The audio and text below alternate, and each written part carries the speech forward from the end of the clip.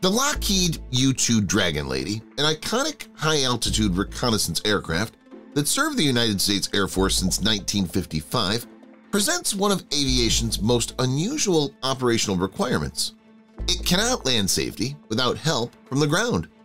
Every time this legendary spy plane touches down, it requires a specially designated chase car racing behind it at speeds exceeding 100 miles per hour driven by another U-2 pilot who serves as the airborne pilot's eyes during the critical final moments of landing. This extraordinary procedure exists because of fundamental design choices that made the U-2 exceptional at its primary mission, flying at extreme altitudes for extended periods, while simultaneously making it one of the most challenging aircraft in the world to land. the design that demands chase cars. The U-2's unique landing requirements stem directly from the aircraft's radical engineering. Designed by Lockheed's legendary Skunk Works division, the U-2 was built with a singular focus, reaching altitudes of 70,000 feet while carrying sophisticated reconnaissance equipment over distances exceeding 7,000 miles.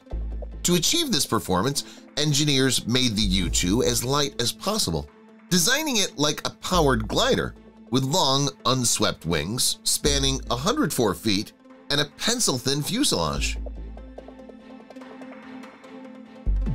The weight savings from this unusual landing gear arrangement are substantial.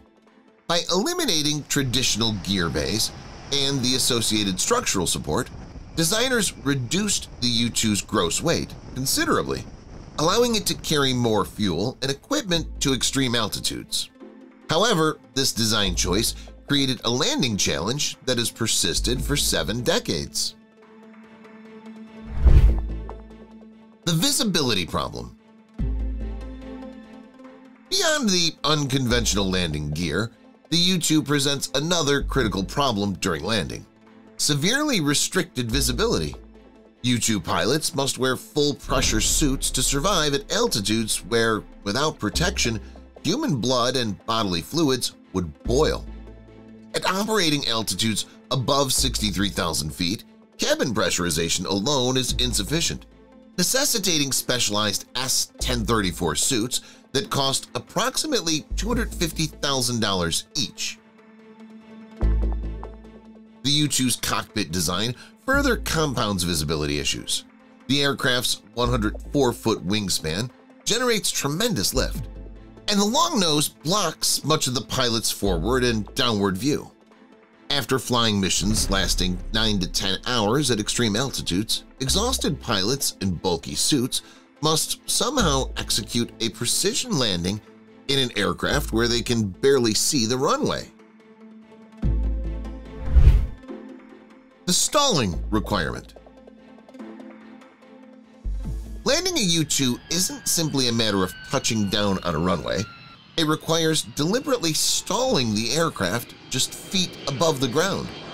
This counterintuitive procedure exists because the U-2's high-lift wings generate so much lift, particularly in ground effect, that the aircraft refuses to land unless fully stalled. The cushion of air created by these wings is so pronounced that attempting to fly the aircraft onto the runway results in bouncing and floating that can consume the entire runway's length. The landing procedure demands that pilots descend to exactly two feet above the runway, hold that altitude while bleeding off airspeed, then initiate a complete stall that causes the aircraft to drop onto its tail wheel if the pilot stalls from more than 3 to 4 feet, the landing gear cannot absorb the impact, potentially causing structural damage to the fragile airframe and breaking sensitive sensors. As U-2 pilot Major Steve Randall explained, if you stall from more than about 3 feet, there's a great possibility of incurring structural damage. The precision required is extraordinary. Pilots must arrive over the runway threshold at a calculated T-speed, typically about 10 knots above stalling speed based on the aircraft's empty weight, plus one knot for every 100 gallons of remaining fuel. Every knot above the correct speed adds approximately a thousand feet to the landing distance. At 10 knots fast, the aircraft will float at 2 feet above the runway for its entire length.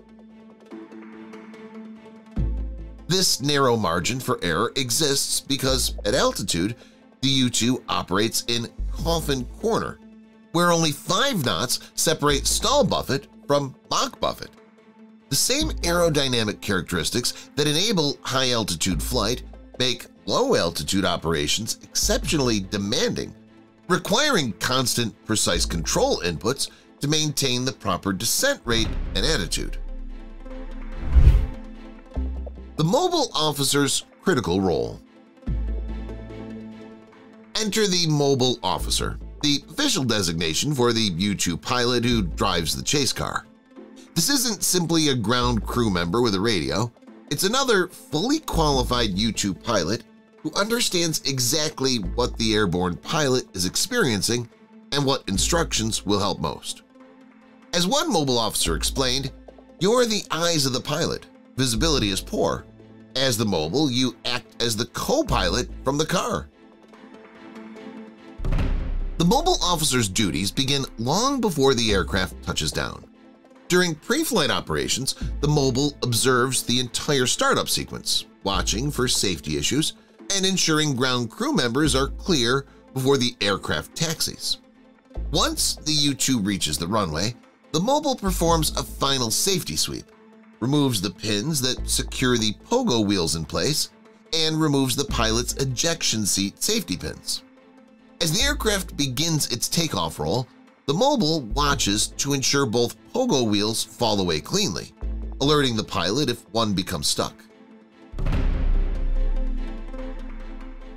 During landing, the mobile officer must accelerate from zero to match the U-2's approach speed, often close to 100 miles per hour, in whatever runway distance is available, then drop into position 50 to 75 feet directly behind the aircraft. From this vantage point, using visual references between the aircraft and the horizon, the mobile begins calling out critical information the moment the aircraft descends through 10 feet. The radio calls are rapid and scientific, altitude in feet, and eventually inches. Alignment with the runway centerline, wing level status, and required control inputs. The mobile officer might call right rudder or left rudder to help the pilot align the nose with the runway, or tails up at 2 to indicate the aircraft still has energy and needs careful handling to avoid bouncing. As the aircraft approaches the critical 2-foot altitude, calls become more frequent and precise guiding the pilot through the delicate balance of maintaining height while bleeding off speed. On windy days with rough air, the mobile officer becomes extraordinarily busy, helping the pilot manage what amounts to riding a 40,000-pound bicycle down the runway. Crosswinds can cause the aircraft to crab sideways, requiring constant rudder corrections that the mobile officer guides based on what they can see that the pilot cannot.